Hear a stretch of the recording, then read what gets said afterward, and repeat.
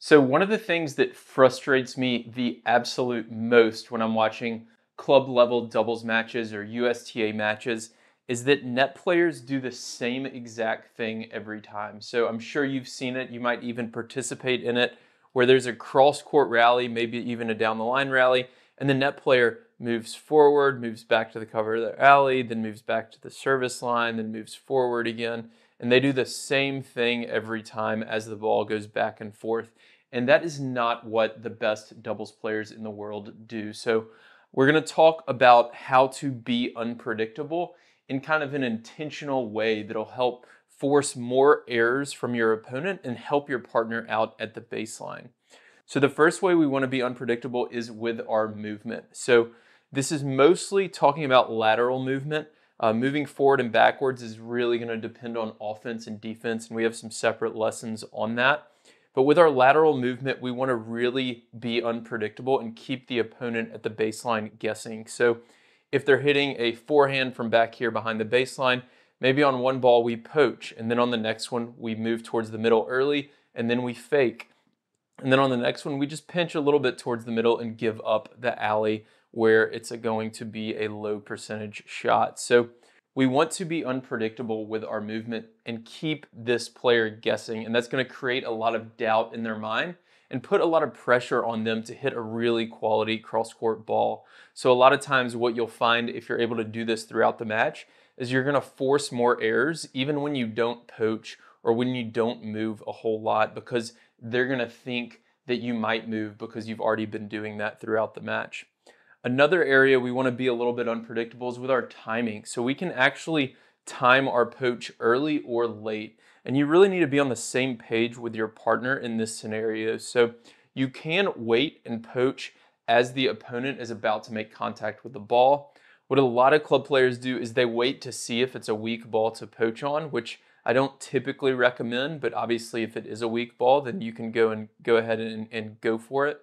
Um, and then something else you can do that club level players almost never do is poach really early to force them into an uncomfortable down the line shot. And but when I say you need to be on the same page with your partner, if they know that you're going to be doing this, especially if they see you poach early, they can come across and cover the line behind you. A lot of pro level players will call a particular poach on the second or third ball so that this baseline player knows to go behind them. The last thing we want to consider when we're being unpredictable is the score. So when I talk about that early poach, it might not be a great idea to do that if you're down 15-40 serving and they have, say, double break point or set point. But if you're up 40-15 in the game, it might be worth the risk to see if they can make this down the line shot. And if they do, you're, you're still up in the game 40-30, so no harm done there. But staying unpredictable with all this, keeping the score in mind, is going to really help you become a more effective player at the net. So next, I want to go over a few examples of players being unpredictable at the ATP and WTA level. So we're going to look at examples of three different points, one ATP and two WTA. And the first one here is Matt Ebden. So his partner is serving. You can see it's a second serve. And I want you to watch how uh, he moves at the net. So straight off of the serve, he's starting um, pretty far back for a service partner in position, but it is a second serve. And he moves early uh, to poach here, forces the down the line return. Um, his partner obviously uh, knows that and covers this down the line return. And then from here, he's pinching towards the middle. So this is considered a pinch during a down the line rally what I see from a lot of club level players during down the line rallies is they will stay uh, over here and really try to cover their half, but really you need to be a little bit more forward, um, kind of pinching towards the middle, even to the left of the center service line, like Matt does here.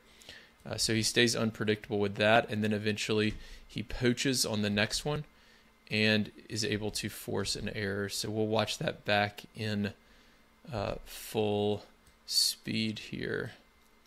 So again, we're looking at a second serve. The poach off of the serve. The aggressive pinch during the down the line rally. And then a full poach when he sees the opponent on defense. Uh, and they have to throw up a lob and ultimately miss. So um, that's some really good movement there at the net from Matt that uh, forces an error as well. So one of the best net players on the WTA tour is Hsieh Su Wei. So she is on the near side. She's the server's partner again, uh, and she's actually playing in the Australian Open doubles finals uh, tomorrow. As I record this, she just won the mixed doubles final uh, yesterday. So you can see she poaches directly off the serve, and this is a really wild point. She poaches again, um, or maybe you'd call this a pinch. It looks like she's trying to poach uh, from the down the line rally position, and then she just kind of stays in the middle of the court, knowing that the opponent can't really hit this ball cross court. Their partner is in the way at the net, um, so they might hit their partner in the back. And if she goes kind of along this red line path, uh, Hsieh Su Wei can actually cover this with her forehand volley here. Um, so her only option cross court really is a lob, which gives Elise Mertens uh, plenty of time to get over here to cover that. So she moves back over to the middle, stays down low on this ball because she has no time to react, and Mertens is back there to cover and then pinches again, forcing an error. So a lot of just really unpredictable kind of strategic movement here from Hsieh. So we'll play this again in full speed. And again, this is the type of point that you'll really never see at club level doubles because we just don't move this much. Um, and I know a lot of us are not quite as mobile as some of these pro players, but the ball's also moving a lot slower as well. So it's relatively um, similar in terms of how fast the ball is moving to how fast we are moving. So we're going to look at one more point from this same match. Uh, on the other side of the net, we have Shuko Aoyama. So she is the server's partner in this situation. She's only five foot one, and she's one of the best net players on tour and she uh, does a really good job with her fakes and poaches. So you can see straight out of the gate, she takes kind of a jab step here uh, and fakes and forces a down the line return. She would probably want this volley back so that she could kind of put this away and angle it off the court.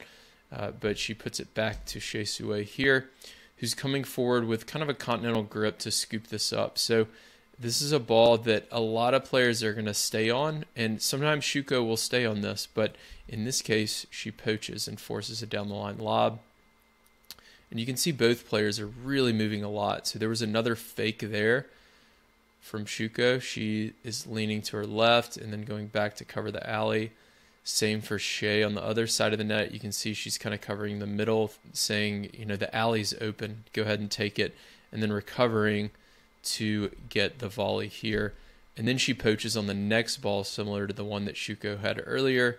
Um, and she actually gets beat down the line. And I showed this for a reason because when you're unpredictable like this, you want to be getting beat down the line on occasion.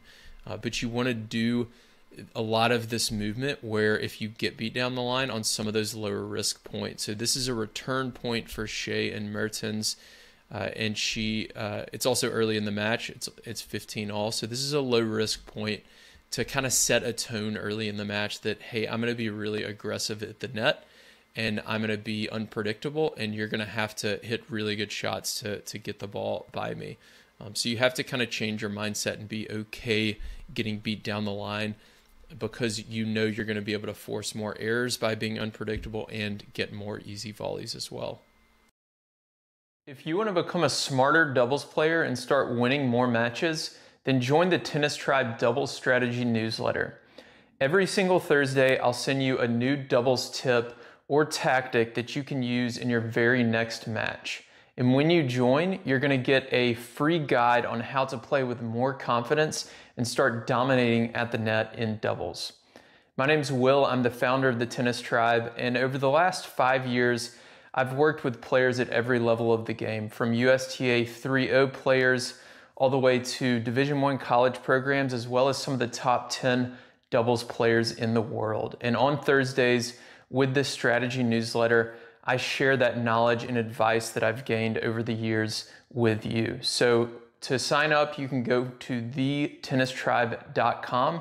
And again, you'll get that free net play guide when you join.